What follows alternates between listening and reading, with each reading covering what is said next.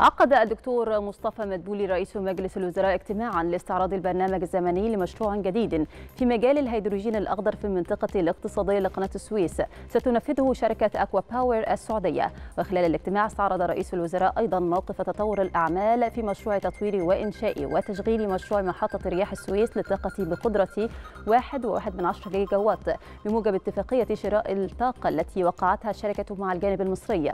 موضحا أن بدء الأعمال الإنشائية الخاصة بالمشروع ستكون خلال الفترة المقبلة.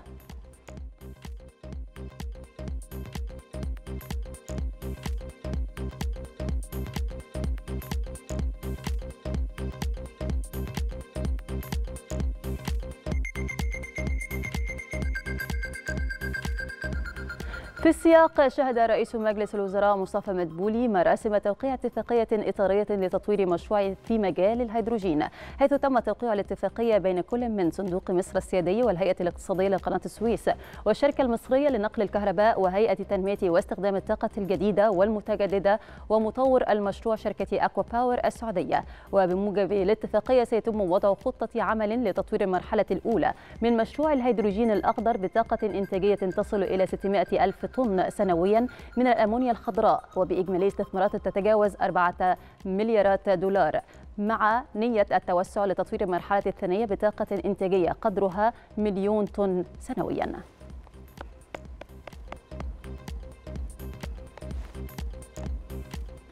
كشف البنك المركزي المصري عن تحقيق صافي ربح بقيمة 56 مليارا و200 مليون جنيه بنهاية نوفمبر الماضي مقابل 44 مليارا و700 مليون جنيه بنهاية أكتوبر الماضي.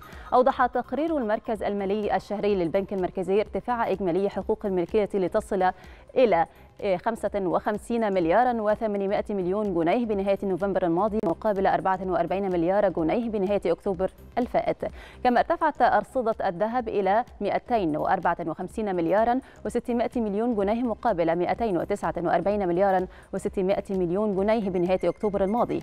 فيما ارتفعت الأرصدة لدى البنوك لتصل إلى 535 مليارا و700 مليون جنيه بنهاية نوفمبر الماضي مقابل 512 مليارا و800 مليون جنيه بنهاية أكتوبر.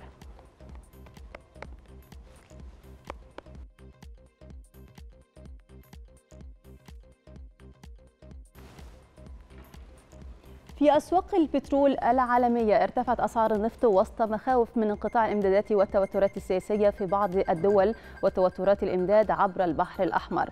وزادت العقود الآجلة لخام برنت بنسبة 1.27 من 100% لتصل إلى 80 دولار و24 سنت للبرميل. كما ارتفعت العقود الآجلة لخام غرب تكساس الوسيط الأمريكي 1.41 من 100% لتصل إلى 74 دولار و98 سنت للبرميل. هذا ارتفعت أسعار المازوت عالميا بنسبة 1.38% لتصل إلى دولارين و72 سنت للتر وارتفعت أسعار الغاز الطبيعي بنسبة 60 من 100% لتسجل نحو دولارين و5 سنتات لكل مليون وحدة حرارية بريطانية.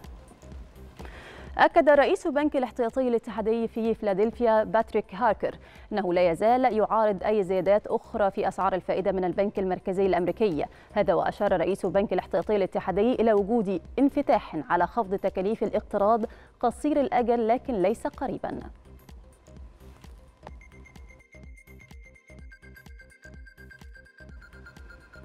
أظهرت بيانات من مكتب الإحصاءات المركزي الإسرائيلي أن الاقتصاد نما في الربع الثالث من العام بشكل أبطأ مما كان متوقعا ومن المنتظر أن يتراجع النمو بشكل حاد في الربع الرابع بسبب العدوان على غزة. ونما الناتج المحلي الإجمالي بنسبة 2.5% على أساس سنوي في الفترة من يوليو إلى سبتمبر مقابل الأشهر الثلاثة السابقة مقارنة بالتقدير السابق البالغ 2.8% على أساس نصيب الفرد. نما الناتج المحلي الإجمالي 6.10% ونما الاقتصاد 6.5% في عام 2022 ومن المتوقع أن يبلغ النمو نحو 2% في عام 2023 وهو ما يرجع جزئيا إلى التأثير السلبي للحرب.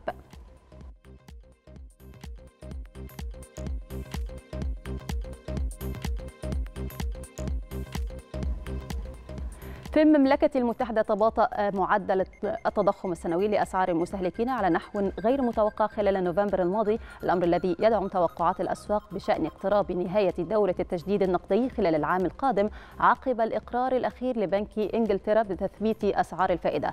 وضحت بيانات مكتب الإحصاءات الوطني تباطؤ تضخم أسعار المستهلكين إلى 3.9% خلال الأشهر الثانية عشر المنتهية في نوفمبر بعد أن بلغ 4.6% في قراءة أكتوبر ليسجل أدنى مستوى له منذ سبتمبر من عام 2021